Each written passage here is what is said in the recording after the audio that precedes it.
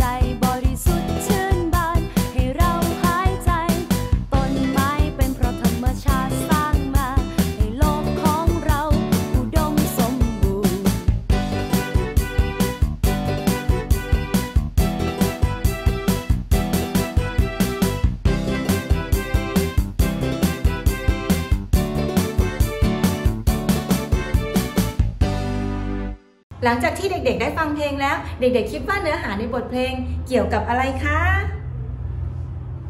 ใช่แล้วค่ะเด็กๆ เกี่ยวกับป่าไม้นั่นเอง เอ๊ะ แล้วพี่วัวอยากรู้หรือยังคะว่า ป่าไม้ของเมืองไทยนั้นมีกี่ประเภท อุ้ยอยากรู้แล้วสิคะ ถ้าอยากรู้แล้ว เราไปชมคลิปกันเล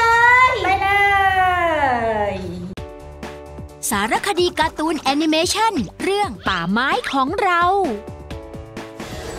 เพื่อนๆครับ วันนี้เราจะไปทำความรู้จักกับป่าไม้ในประเทศไทยกันครับ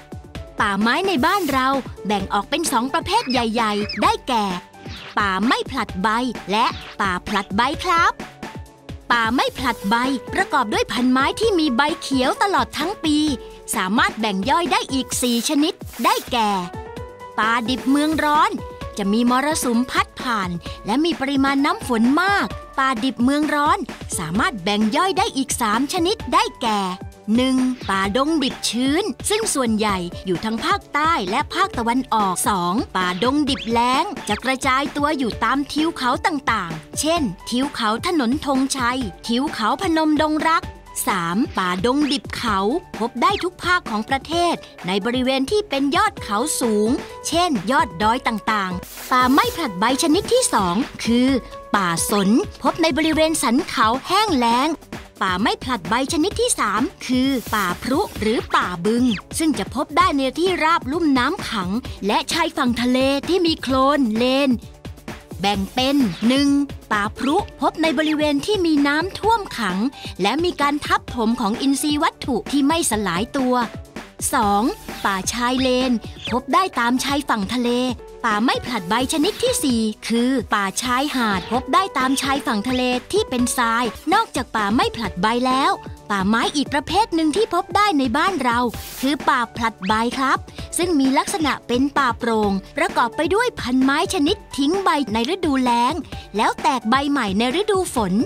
ป่าผลัดใบ แบ่งได้ 3 ชนิด ได้แก่ 1. ป่าเบญจพรรณซึ่งกระจายอยู่ทั่วไปตามที่ราบ หรือเนินเขาในทุกภาค ยกเว้นภาคใต้ 2. ป่าเต็งรัง 3. ป่าหญ้า เกิดจากการทำลายป่า จนต้นไม้เติบโตไม่ได้ จึงมีหญ้าต่างๆ เข้ามาแทนที่เมื่อพบเห็นการรุกป่า ล่าสัตว์ และพบไฟป่า ทรแจ้งสายด่วนกรมอุทยานแห่งชาติสัตว์ป่าและพันธุ์พืช โทร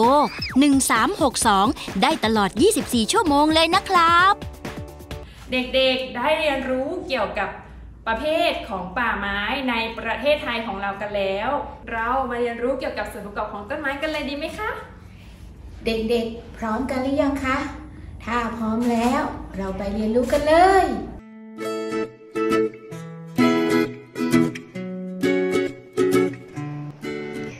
สวัสดีค่ะเด็กๆ วันนี้พีเชอร์จะพาเด็กๆ ไปรู้จักกับส่วนประกอบของพืช the body of plant เด็กๆ ทราบไหมคะ ว่าพืชมีส่วนประกอบอะไรบ้าง เอ๊แต่ถ้ายังไม่รู้ เราไปเรียนรู้กันเลยค่ะ ส่วนประกอบของพืช พืชก็จะประกอบไปด้วย ราก root ลำต้น stem ใบ leaf ดอก flower ผล fruit เด็กๆเห็นไหมคะ ว่าส่วนประกอบของพืชนั้นมีหลายอย่างเลยใช่ไหมคะ แต่ว่าแต่ละอย่างเขาก็จะมีหน้าที่ที่แตกต่างกันออกไป โดยจะขาดส่วนใดส่วนหนึ่งไม่ได้นะคะ เพราะว่าถ้าขาดส่วนใดส่วนหนึ่ง ก็จะทำให้ต้นไม้ไม่เจริญเติบโตนั่นเองค่ะ เราไปดูส่วนประกอบของพืช ว่าแต่ละอย่างนั้นเขามีหน้าที่ทำอะไรกันดีกว่าค่ะ เรารู้จักส่วนประกอบของพืชแล้ว ตอนนี้เรามาดูหน้าที่ของพืชกันนะคะ ว่าแต่ละส่วน มีหน้าที่อะไรบ้าง ราก root รากทำหน้าที่ยึดติดกับพื้นดิน ดูดน้ำและธาตุอาหารที่อยู่ในดิน และลำเลียงขึ้นไปยังส่วนต่างๆของพืชค่ะ ส่วนประกอบที่สองค่ะลำต้น stem มีหน้าที่ชูกิ่งก้านใบ เพื่อรับอากาศและแสงแดด ทั้งเป็นทางลำเลียงน้ำและธาตุอาหารไปเลี้ยงส่วนต่างๆ ค่ะ ส่วนประกอบที่ 3 ใบ leaf จะมีลักษณะเป็นสีเขียวทำหน้าที่ในการสร้างอาหาร นอกจากนี้ใบ ยังทำหน้าที่ในการหายใจค่ะ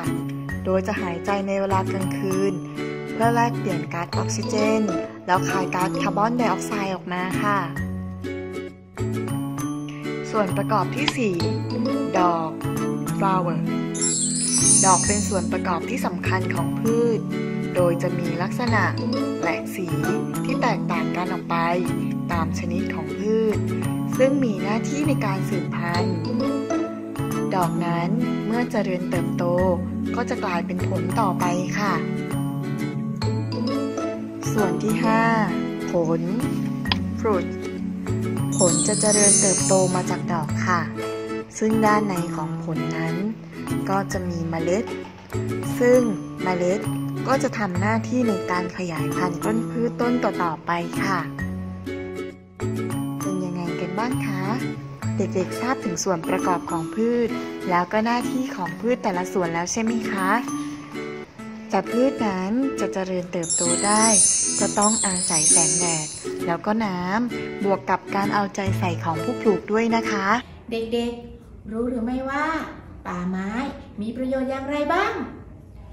พี่เสือรู้ค่ะป่าไม้เป็นแหล่งของต้นน้ำลำธาร เป็นแหล่งอาหาร และเป็นที่อยู่อาศัยของสัตว์ป่า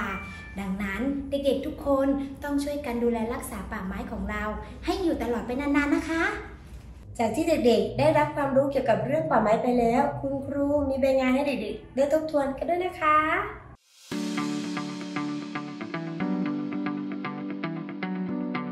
เด็กๆ จะสังเกตเห็นตรงกลางของกระดาษจะมีคำว่าป่าไม้ The forest เด็กๆ ลองคิดดูสิคะ ว่าในป่าไม้มีอะไรบ้าง เรามาทำพร้อมกันเลยค่ะ ป่าไม้มี ต้นไม้ น้ำตก สัตว์ป่าแมลง ดอกไม้